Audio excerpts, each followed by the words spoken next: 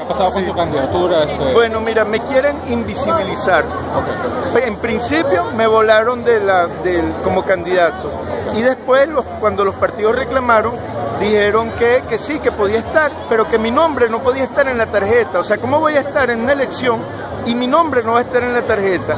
Ellos no quieren sustituir el nombre. Voy a entrar por sustitución, entonces este, van a sustituir al candidato, pero el nombre va a aparecer en el PPT, va a aparecer Rafael Uzcategui y en el PCB va a aparecer eh, Adelaida Serpa. ¿ves? Entonces imagínate que yo vaya a hacer una campaña diciendo, vote por mí, marque la tarjeta de Rafael Uzcategui, por Dios yo tengo, tiene que ser como la gente. O sea, si yo voy a participar, oye, como la gente, mi nombre tiene que aparecer en la tarjeta. Oye, eso es una, un, leguleyo, una trampa, están haciendo trampa para confundir. ¿Dan alguna razón, alguna razón No, nosotros no dan razones reales porque nosotros entregamos los recaudos, eh, los recaudos a tiempo, en el lapso establecido por la ley. No hay razón para hacer eso. La única razón es para generar confusión entre el electorado y atentar contra mi votación. Esa es la razón que ellos tienen. Eh, eh, profesor, y de todas formas, quien quiera votar por usted, ¿las tarjetas cuáles serían? PPT y PCB. Porque, bueno, el compañero del, del, del MEP este, tenemos información extraoficial que él retiró la candidatura, pero aún él no ha hecho eso público, o sea, no sabemos si es, si es oficial o no es oficial. Eh, eh, suponemos que es por una gran presión que ejercieron sobre el compañero. O sea, una, lo cohibieron para que, para que retirara mi nombre de la tarjeta, mi postulación, cosa que no se debe hacer en la democracia. La democracia es para que nosotros participemos en condiciones de igualdad. Estamos bloqueados en los medios públicos de comunicación y en algunos medios privados que se han asustado los medios privados, empezando por Globovisión, que no sabemos quién está detrás de esa suspensión que me hicieron. Si es la industria farmacéutica o es la mafia de la carne, ¿verdad? Que puede estar ahí en, asusando para que mi candidatura no, no tome vuelo. Pero nosotros contamos con, el, con, la gente. Mira, hoy aquí en Filben hubo una, una euforia, la gente, la gente se siente indignada por, por lo que está pasando y hay una solidaridad, una solidaridad eh, automática y bueno, ¿qué te cuento? Un baño de amor lo que, lo que estoy recibiendo aquí en, en Filben. bueno, profesor, ¿y qué le dice usted a los habitantes de Caracas? ¿Por qué deberían votar por, por usted? ¿Qué, ¿Qué, es lo que, promete, tu, promete usted en esa gestión? Bueno, primero hay que ir a votar. Y hay que ir a votar por un candidato del proceso. Yo no me empeño en que tiene que ser por mí, Luigino. Pueden votar por cualquier candidato del proceso. Compañero Mango, eh, este, Osvaldo Rivero, le sacaron la tarjeta a su partido también inexplicablemente porque también lo presionaron. Entonces, bueno, quedan el resto de los candidatos del proceso. La gente, el chavismo debe ir a votar por un candidato del proceso. Ahora, ¿por qué por mí? Porque yo, llevo, yo tengo 53 años de edad y yo me he formado, me he formado desde, bueno, desde que ingresé a la universidad en el comité de bachilleres sin cupo, he estudiado, he ejercido en diferentes cargos donde he demostrado, primero, la eficiencia en la gestión y segundo, mi honestidad. Yo he sido funcionario público por largo tiempo y todavía, todavía vivo en el mismo apartamento donde, que lo compré en el año 1996, antes de llegar al gobierno, en, en Parque Central. Entonces yo, yo puedo decir con la frente en alto que yo soy una persona honesta y, y eso ahorita es un valor muy importante en este proceso cuando nosotros vemos que, que aquí un, un, administrador en muy poco tiempo va y se compra una quinta y se muda al este y todo lo demás. Yo soy una persona que conoce los problemas de esta ciudad. Yo nací en esta ciudad y yo estudié en esta ciudad, he recorrido esta ciudad todos los días, estoy en la calle recorriendo la ciudad. Nosotros tenemos un problema de alimentación, Luigino, que tenemos que resolverlo la ciudad tiene que alimentarse. Esta es una ciudad que creció bajo el modelo rentístico petrolero y es una ciudad que es que para vivir en ella hay que alimentarla, porque no, puede producir sus propios alimentos. Estoy a favor de la agricultura urbana también. Yo trabajo en el organopónico de Bellas Artes, el, eh, sembrando plantas medicinales, pero el, tema de la alimentación que que la distribución del alimento que lo hacen los mercados, el mercado mayor de coche y los mercados municipales que son de las alcaldías, Esos mercados hay que repotenciarlos, hay que potenciarlos. Por ejemplo, los mataderos es una potestad de la alcaldía, de los municipios, y este municipio no tiene matadero. Resulta que un kilo de carne en pie, un kilo de carne de, oscila entre 11 y 13 mil bolívares, en pie de ganado, y a la gente le lleguen 100 mil.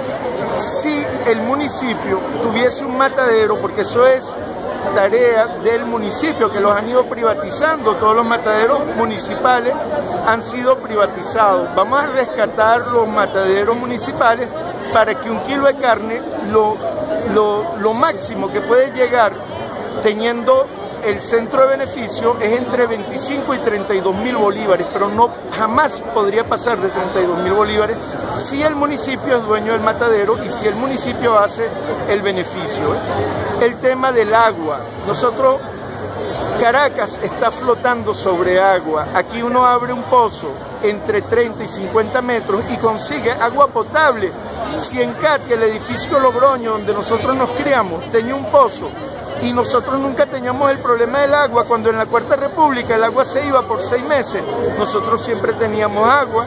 Nosotros debemos abrir unos 4 o 5 mil pozos, comprar unas máquinas perforadoras, ¿verdad?, el municipio y empezar a perforar, pozos para darle agua a la gente, porque resulta que hay comunidades en el 23 de enero que tienen 30 días sin agua. Entonces, eso no es, no es vida, ¿verdad? Entonces tenemos muchos problemas en la energía, la gasificación de los barrios, que es una promesa que, eh, bueno, y era una responsabilidad incumplida, incumplida por nuestro gobierno, ¿verdad? Por el ministro de entonces de Energía y Petróleo, ¿verdad? Que prometió que iba a gasificar la ciudad y no gasificó un carrizo, ¿verdad? Entonces, ¿cómo eh, DirecTV si puede romper las calles, pasa un tubo de fibra óptica y no se puede pasar un tubo de gas, ¿verdad? Un tubo, gasificar la ciudad es lo más fácil del mundo. Una maquinita que va caminando por la calle va, va abriendo un surco y por ahí se va instalando un tubo de gas. Así es como se gasifica, pero tiene que haber la voluntad y tiene que haber gente que esté pendiente de eso. El alcalde tiene que estar pendiente de que haya gas, que haya electricidad, que haya agua, que no haya que haya vialidad. Mira, caminando por la Candelaria, uno, uno no puede caminar por la acera porque es capaz que uno pierde un tobillo, pierde los dientes, se cae, ni por la calle tampoco, porque entonces hay un, hay un total abandono de nuestra, de, nuestra vialidad. Son prioridades que hay que tomar la basura. Hay que, no solo hay que cobrar la basura bien cara en el, en el recibo, la basura, por un lado hay que recogerla y hay que tomar medidas para detener la generación de basura, la producción de basura. Entonces, todas esas cosas no las puede hacer tampoco un alcalde solo. El alcalde tiene que trabajar con el gobierno nacional. Nosotros vamos a trabajar con el presidente Maduro porque somos chavistas, somos maduristas. Nosotros no vamos a llegar a hacer oposición, ni vamos a llegar a derrocar a nadie, ni a, a hacer golpes de Estado. Nosotros vamos a llegar a, rescatar nuestra ciudad y a repotenciar el chavismo, porque somos chavistas, somos revolucionarios, eso nadie nos lo puede quitar. Entonces, bueno, nuestro presidente, el CNE, tiene que tomar, eh, tiene que tomar, tiene que hacer su trabajo. El, el hecho que me quieran invisibilizar, que no quieran que mi nombre aparezca en la tarjeta, es una, una mala señal que le están mandando al pueblo de Venezuela y una mala señal que están mandando hacia el exterior. Así que, por favor, y Lucena recapacita sobre esa medida que están tomando. Por favor, presidente Nicolás Maduro, amigo Nicolás Maduro, recapaciten.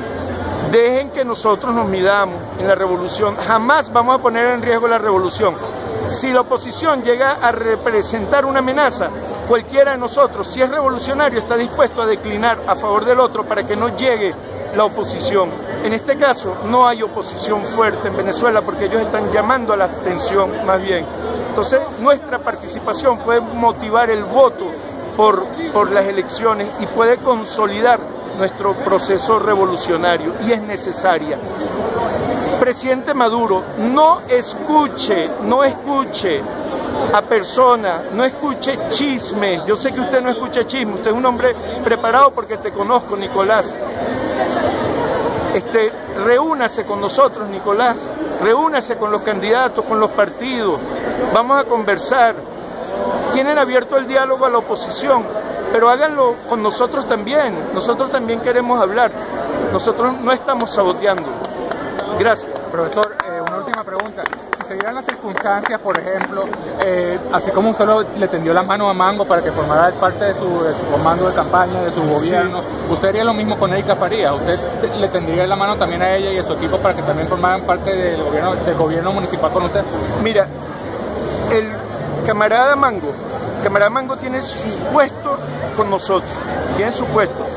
el partido de él le sacó, eh, o sea, le sacó la tarjeta, pero no importa Mango, yo te lo dije, te vienes con nosotros y vas a gobernar con nosotros, porque tú eres, tú eres un soldado de este proceso, tú has dado la cara por el partido donde tú estás y también por el proceso y por el gobierno también, y arriesgas la vida, has dejado el pellejo en el asfalto ahí por este proceso, no ahorita, desde la Cuarta República, porque te conozco desde la universidad, tú quizás no te acuerdas de mí.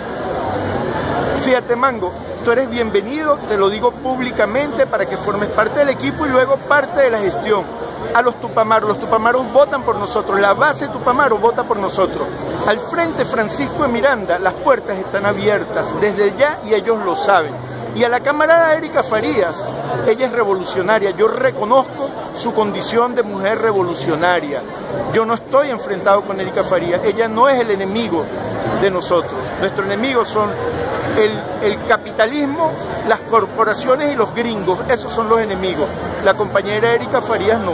Yo estoy dispuesto, Erika, a declinar, a declinar a tu favor si hay una amenaza sobre el municipio de Caracas. Y espero que tú también estés dispuesta a declinar si quien garantice la victoria soy yo.